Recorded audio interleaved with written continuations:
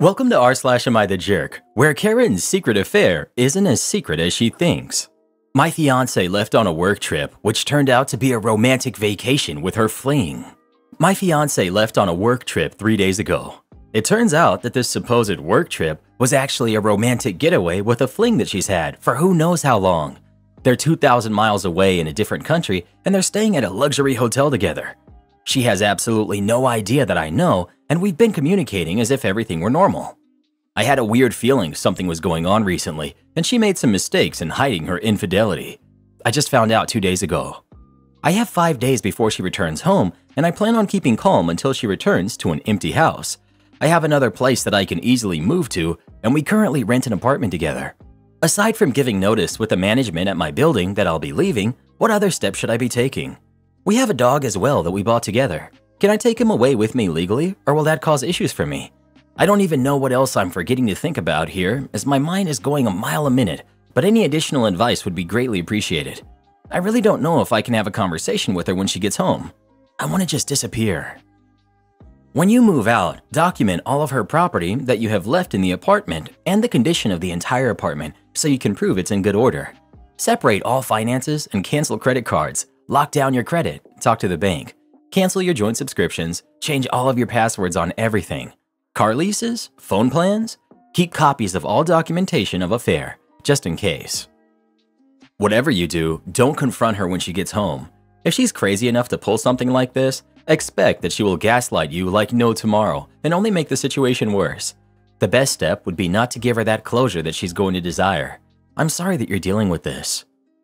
Three years of extended betrayal. Do not expect her to go quiet. Take a deep breath and focus on yourself. Copy all the evidence to a secure place. Get your name removed from everything.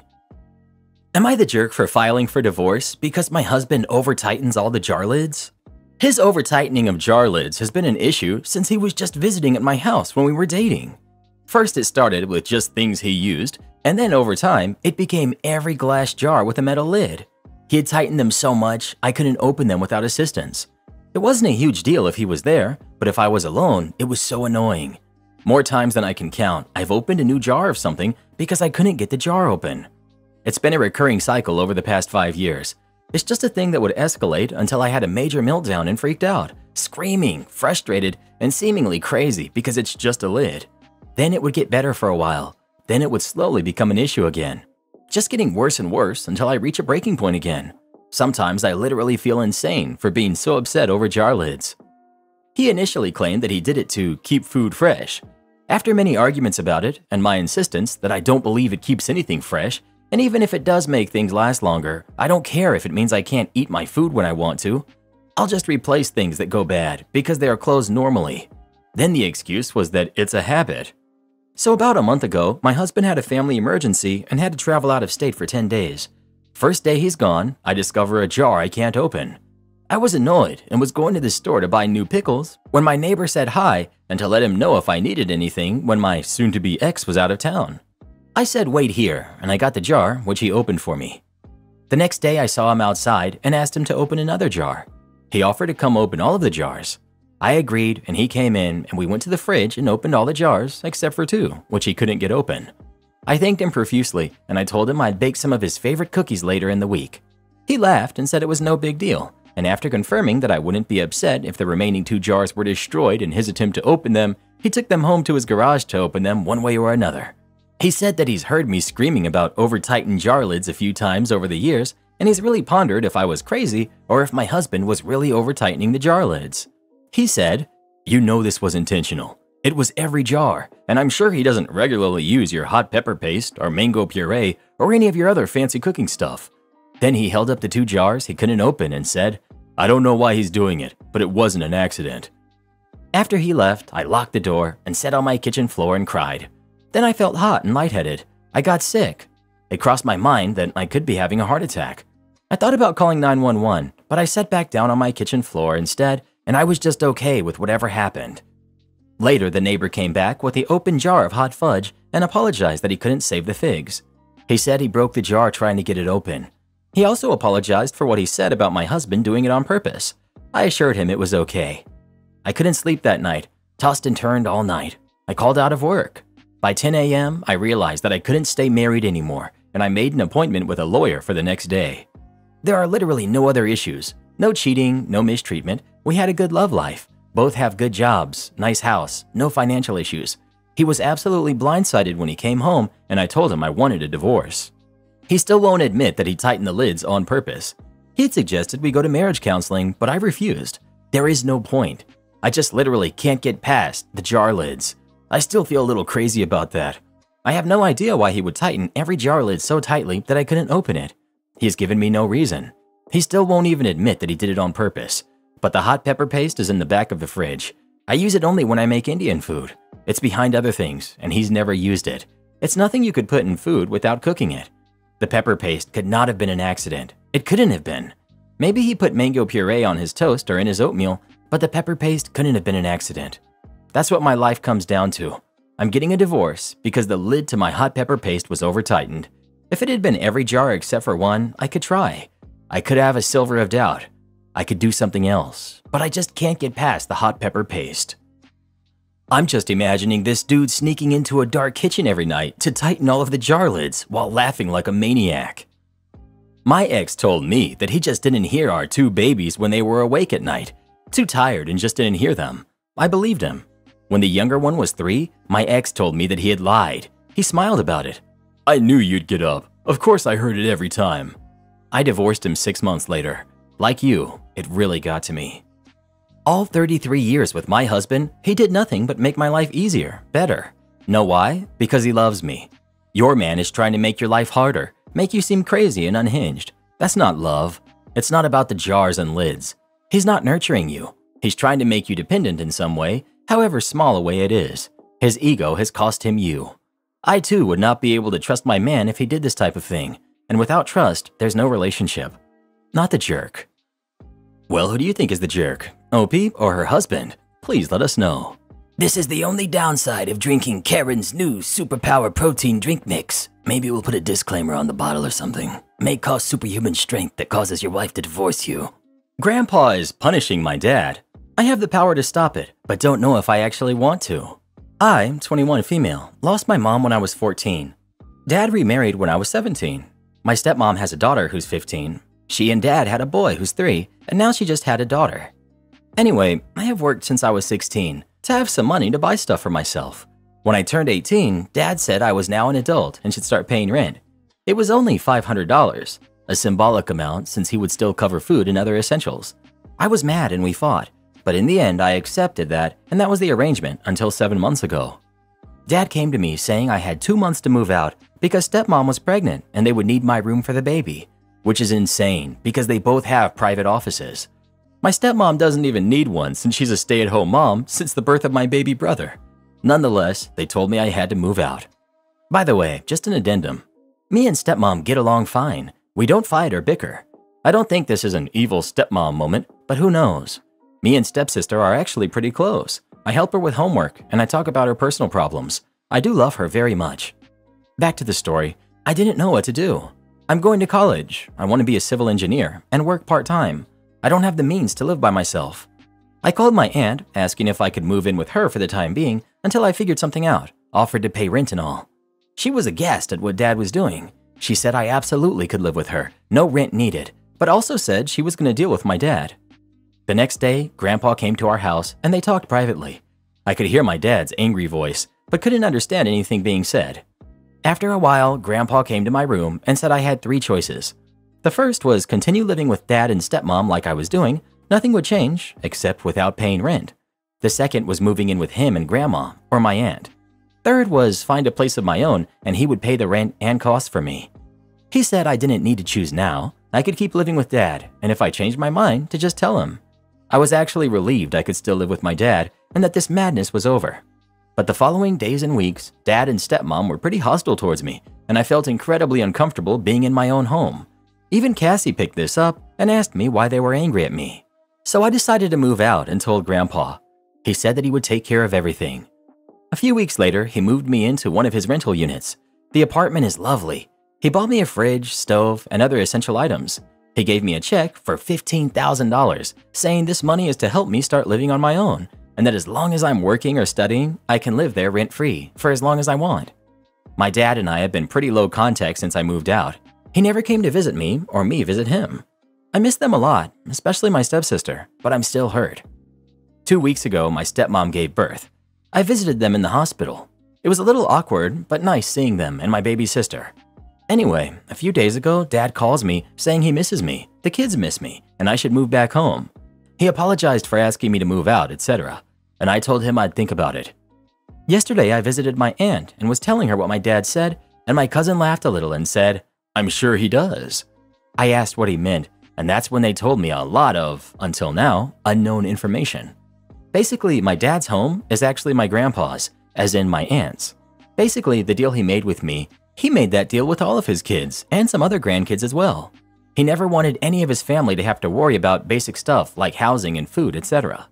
When I called my aunt that time, she called Grandpa, who was furious with Dad, not only for kicking me out, but also for charging me rent. That day, he went to my dad's and tore him a new one and threatened to have him evicted. But now the petty part. You know that $15,000 Grandpa gave me? It's actually what I paid Dad in rent all that time, and now he's making Dad pay him back. Also, he's charging Dad $1,200 for the rent loss in apartment that I'm living in. Call me dumb or naive, but until now, I never realized my dad didn't make that much money. We lived in a great house, always went on vacations, and lived very comfortable lives, but I guess Grandpa has always been helping behind the scenes. Now my cousin thinks dad is struggling with three kids at home, a single income, and having to pay it back to Grandpa. So he says dad wants me back because he imagines Grandpa will stop punishing him if I'm back living with them. Honestly, I don't know what to do. I'm actually loving living on my own these past six months, but I do really miss them. I miss my siblings. I miss the life we had before all of this. But I don't know if moving back home is the right answer. And also, I'm hurt the reason he wants me back is for the money. Update.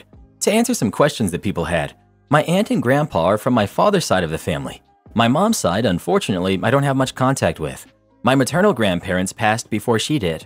I have uncles and aunts. I see them once in a while, but they don't live close by. I also have two other uncles from my father's side, I'm close to them, but not as near my aunt. She was my rock when my mom passed. I consider her a second mom. My stepmom knew about the rent that I was paying.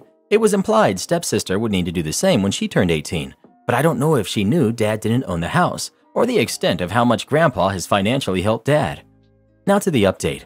Monday, the day after my post, I called dad and said I decided to not move back. I didn't mention anything I was told, just that I was settled here, and moving back seemed like a step back. But I also said I wanted to keep in contact with them. They could invite me for dinner whenever they wanted, and I also said I would love for my stepsister and brother to be able to spend time with me here at home. He was disappointed, and I didn't feel any angriness in his tone at least. But he basically said a, we'll see, and left it at that. I was also disappointed. But then Friday he called me, asked me if I wanted to have lunch Sunday, today. I said I already had plans with Grandpa and Grandma. He asked when I would be free, so we scheduled dinner for Thursday. I haven't told any of this to my stepsister. We talk and text regularly. She also hasn't heard them talking about me, but she did say my grandma, her mom's mom, is there to help with the baby and is being incredibly annoying. I laughed at that. I wanted to offer her to stay here, but didn't want her to get excited just for dad to say no, so I'll try to talk with them Thursday. The big update is, I've just come back from visiting grandma and grandpa. We spent a lovely day together, but I also said I wanted to know everything that was going on, I wasn't a kid anymore, and I felt like living in lies. The most important things were things my cousin and aunt told me last week, but there were a few more. Grandpa has been subsidizing quite often our basic needs, like school, healthcare, etc., because dad hasn't one cent saved up according to my grandpa. Also, my college fund was mainly contributed by him and mom before her passing. I guess that makes sense. I was also dumb to not realize this sooner. He also has set up funds for my baby siblings and also one for my stepsister because he didn't want her to feel excluded and not have the same opportunities as her siblings. This man is incredible. I love him so much. And yes, I'm very, very lucky. I've seen so many people commenting this. I know I'm so privileged to have grandparents and family members who can afford and are willing to help me. I hope one day I can help others the way that they're helping me. Anyways, I also expressed worries about dad's financial situation, and he assured me that dad is fine, more than fine. He will have to be less frivolous with money for a while, but that he would never let any of his kids or grandkids suffer or be in need of anything. As many of you said, he's trying to teach dad a lesson I should have taught him a long time ago. So I'll stay out of it. I don't think I'll tell Dad that I know about this. I know many of you said to confront him, but I think it's for the best if he continues thinking that I'm oblivious. Lastly, we talked about why Dad kicked me out. He didn't have an answer either. I could see he and Grandma were very hurt by what Dad did. He said he asked for an explanation, but he got none. I'll continue having a relationship with my siblings outside of my dad and stepmom. I'll also try to schedule some weekly dinner with them. I know what you guys said about my father is mostly true, but I need to at least try to have a relationship with him. If not for him, then for my siblings and for me. But don't worry, I won't let him treat me like that anymore. Your grandpa is the greatest of all time. I wish I could have had someone like him in my life. I still think that your dad is trying to erase his last wife, slash your mom, from his memory, as I've heard about such things all too often, although maybe not consciously. I'm not sure at this point if he's being honest. I hope things go well for you. My first thought was how Grandpa is taking advantage of non family members to be able to afford all of this, since OP mentioned rental properties. So basically, because your grandpa is a scummy landlord, he has millions of dollars to pay for all of your family's stuff. Free apartment here for you, free house for your dad. Just because your grandpa is rich doesn't mean he's not a jerk, and you're just as guilty as he is for taking his dirty money. I'm sorry to disappoint you, young Redditors, but once you become an adult, parents are not obligated to give free rent, free food, free car, or a free house. It's all on goodwill of the parents. Regardless of whether OP's father got the house for free, he can give free rent, charge a dollar a month for rent, or 1 million a month for rent. The OP is crying that it's insane that she has to leave, but he can do whatever the heck he wants. The OP's dad is only punished because he let himself be held hostage to his father's donations. It's his own problem. You get free stuff or free money, you can get strings attached. You can get free money Monday and have it cut off Tuesday. Charging rent can be a parenting lesson. My wife's kids are in their mid 20s, never paid rent, never picked up a broom or did anything in the house, never had a credit card, worked part time because working full time is too hard. This may seem like paradise to the average Redditor, but those are not well adjusted adults. If I decide to sell the house and move across the country tomorrow, they will be sad puppies, and Redditors will cry for them too. You know what I always wonder? Do you think that Redditors would still love their favorite celebrities if they found out that they're landlords too? Well, good PR should kind of keep that stuff under wraps, right? And when your PR is really good, then if a cop pulls you over for drunk driving, he'll have all the news sites putting out hit pieces on him, just to keep everything in sync. My ex husband did himself out of a grand life. My ex husband was a problem. I didn't mind the myriad of health conditions he had, but the fact that he refused to take care of himself was the real issue, especially when his problems caused me to lose the very little sleep that I was going to get. I worked for a terrible corporate security firm that really doesn't care about its employees. I was the single field supervisor in my region, and on top of my regular 40 hour work week, I was also called on emergency to fill open positions. This was during the height of lockdown as well, which eventually put me at a regular 80 to 100 hours per 7 day work week. The money was incredible, but I was miserably exhausted. At the time, my husband was working part time and receiving SSI and spending all of his income on himself, video games, and fast food against his doctor's orders, while I paid both of our shares of the bills car payment, insurance, phones, etc. This went on for about three years, getting progressively worse as time went on. Despite the amount of money I covered for him, I still managed to bump my credit by paying off my car and saved enough to buy a house. Nothing too fancy, but it's a two story with an unfinished basement Plenty of space, decent sized yard, creek, and really cool neighbors who constantly invite us over to drink and play pool. While moving, I was still working 80 plus hours and couldn't spare time to help much, but I paid for the moving truck and dinner for anyone willing to help us pack and move. I asked my then husband to make sure everything gets packed. He packed all of his own belongings, then the household furniture, then ignored whatever didn't fit. Was late returning the moving truck, and I had to call about the fee, which they were very kind enough to waive considering my circumstances. The result was that the majority of my stuff, my roommate's stuff, and my brother's stuff didn't fit in the moving truck. My brother was making trips every day after work to pick up a carload and bring it home. I asked my ex husband to please do the same, and he agreed. Three weeks later, I finally got a day off. I worked a 12 hour shift and planned to go pack up a few boxes and take them home while I was out. I walked into the house and saw that my ex had literally done nothing. Three weeks he said he had been moving our stuff and he hadn't touched a thing. I had a meltdown. My legs gave out from shock and I sobbed on the stairs. My roommate and best friend happened to also come in right after me and found me on the stairs. He He held me while I cried and assured me that he would take a few days off to get everything packed up and moved. He told me to go home and sleep, but I told him I'm already here, so I might as well take a few boxes, since my worthless husband lied to me about doing so. He helped me pack up some things and I drove home. I didn't even bother to unload it. I went inside and collapsed on my bed and cried myself to sleep. Hours and hours later, I finally woke up, a groggy mess, and made my way out to my car to start unloading. Best friend was there unloading his own car with a tired smile. He had been going all day and the sun was setting.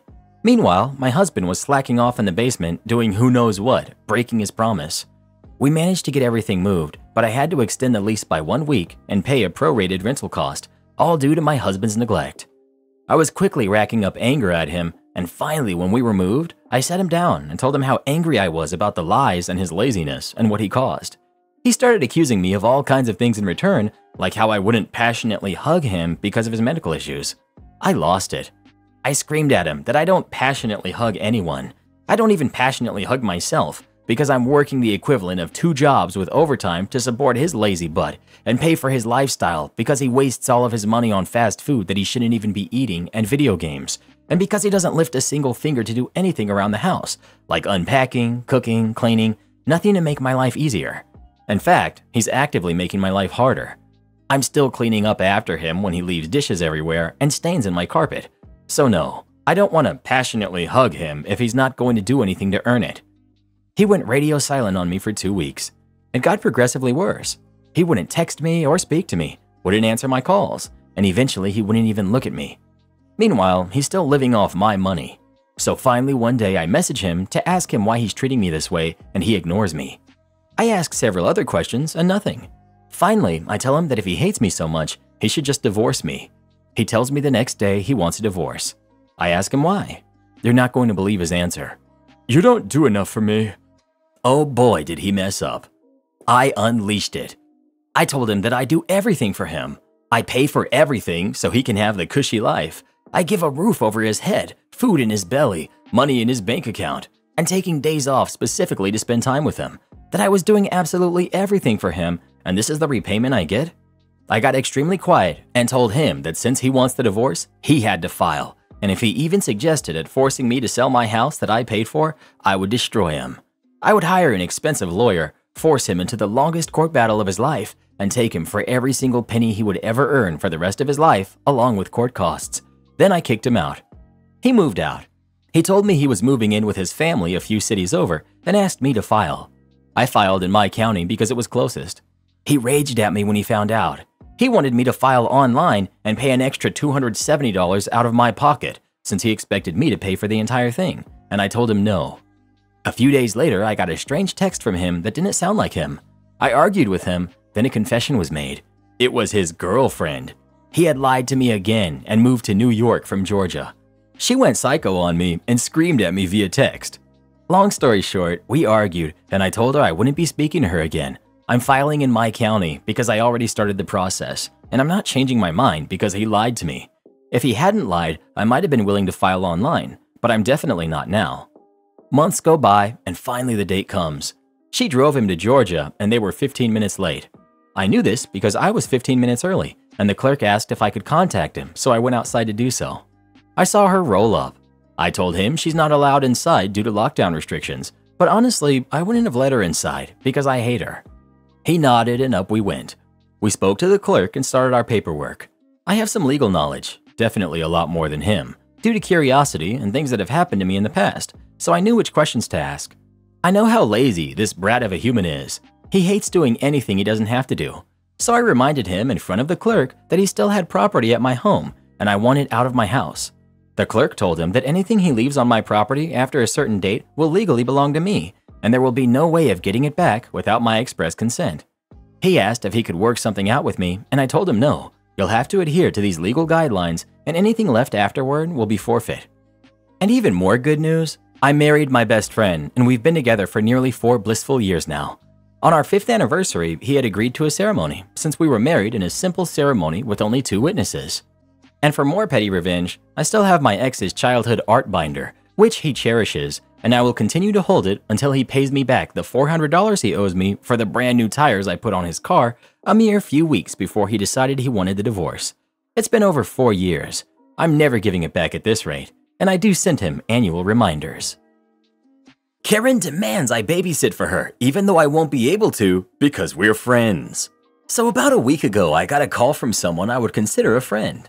We're not super close, but we are friendly, and we get together with the same group of friends a lot. She called and said that her kids were talking about how much fun they have with mine and wanted to know if we would be free this coming Saturday, a week and a half away at the time. My kids really do like hers, and I want to be better friends with her as well, so I said sure. She was relieved and said her husband would be out of town and she needed a babysitter from 8 a.m. to 10 p.m. I felt like it was a major bait and switch because I thought she wanted to do something altogether. But I felt bad backing out when I had already told her I was completely free that day. I should have said something right then, but I didn't. Well, yesterday I ran into a friend of mine and she asked if I was excited for Saturday. I thought that was weird because no, I'm not excited to babysit someone else's kids for 14 hours. But I said my kids were definitely excited. She said, Oh, good. Is your husband taking them to do something fun? Or who's watching them? To which I made a face and responded that I was watching them. So then she was the one who was confused and said, So you're not coming? Well, last week I didn't go to the end of year PTA meeting because I had just started my period and I felt crummy and I didn't want to go. I guess after the fact, some friends went out to lunch they decided to plan a big girls' day to relax before the kids are back home all day for the summer. Going to the city, shopping, pedicures, eating at nice restaurants, etc. And when it was brought up that I would probably love to go too, this friend said she needed to talk to me about some PTA stuff that I missed, so she would tell me about it when she called me. But instead, she decided to use me as her babysitter.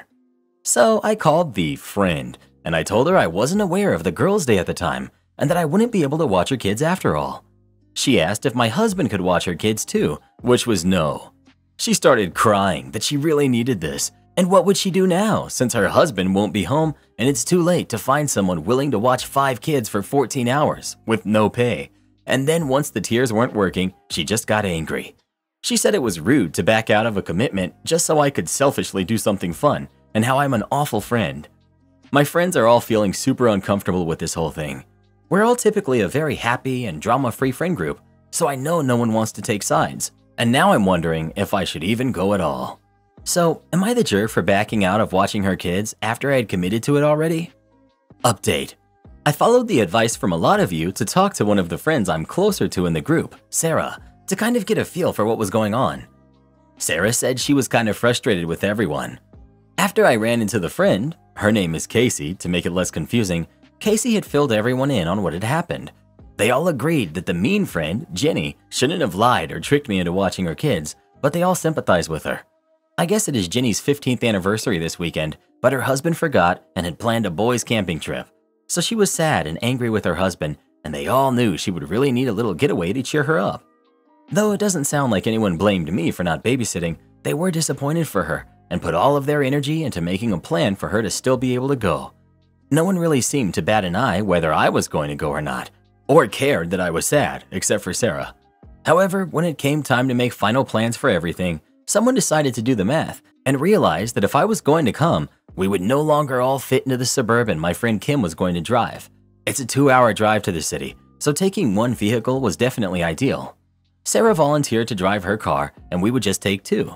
But it all just felt so forced and uncomfortable that I just ended up backing out.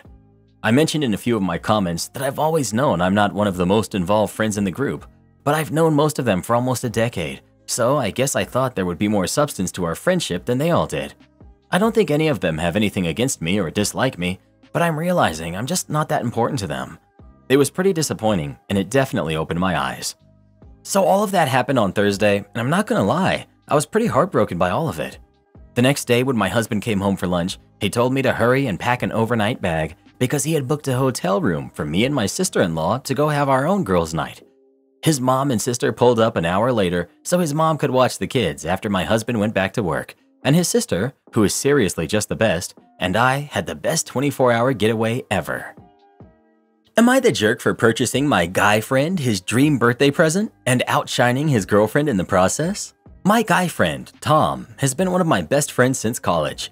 We're in our mid 20s now, and both of us are currently in committed relationships with long term partners. I've never had any feelings for Tom, nor has he ever had feelings for me. Since college, Tom has been a huge watch fanatic.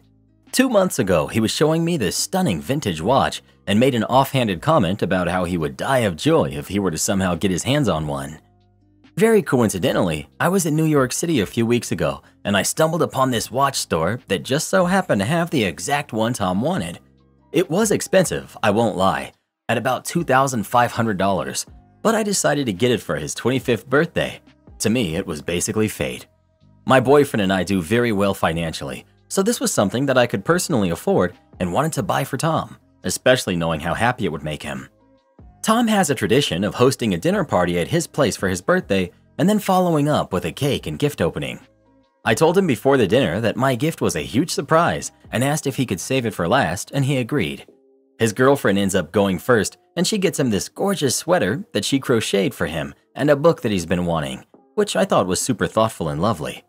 Last, it was my gift. When he opened it and saw what it was, he literally screamed, hopped over a bunch of people, and squeezed me in this bear hug. I was so happy to see him happy. It genuinely filled me with so much joy. He even got emotional, and I saw him swipe a few tears. He also said that it was the best gift he had ever received. The whole time, his girlfriend was only slightly smiling and stayed quiet. The next morning, I get a text from his girlfriend that essentially said that although she appreciated my thoughtful gift, she thought it was a bit out of touch and lacking awareness. She admitted that Tom had also told her about the watch and she wanted to get it for him, but it was way out of her budget. She accused me of knowing this. I had no idea, and still getting it to rub it in her face and to outshine her. She finished by saying how she felt like I had overstepped a boundary by getting the gift and would appreciate me not doing anything similar to it again in the future. I responded and told her that while I could see her point of view, I was just trying to do a nice thing for a close friend of mine. I asked her, wouldn't you rather he had gotten the gift and seen the happiness that it brought him than not getting it at all? She responded that that happiness was only shared between me and Tom and no one else, and that she felt hurt by my actions. Only my boyfriend knows about this and he's on my side, but thinking through it all again, I do see how I could have overstepped but my boyfriend says that it's not my job to apologize for her insecurities.